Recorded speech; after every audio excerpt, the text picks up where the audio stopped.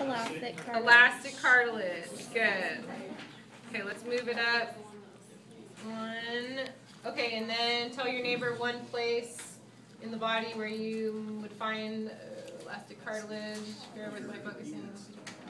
Ah, there you go. I'm looking at you. I'm doing the camera work. Oh, actually,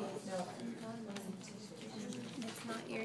Oh, it's Is the it this? hyaline cartilage. Um, no, I'm your ear. It's the top It is. epiglottis. It's The epiglottis. Okay, what did you get, uh, Chan? What did you get for an example location?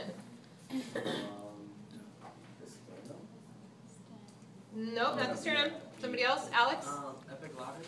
The epiglottis, yeah, the epiglottis. Uh, what about, The auricle of the ear. Top of the ear. yeah, the auricle of the ear, which is the external ear. You could just say external ear. That's this, elastic cartilage is I this. thought that was called the middle ear. I don't know. Like that's what. This is called the middle ear.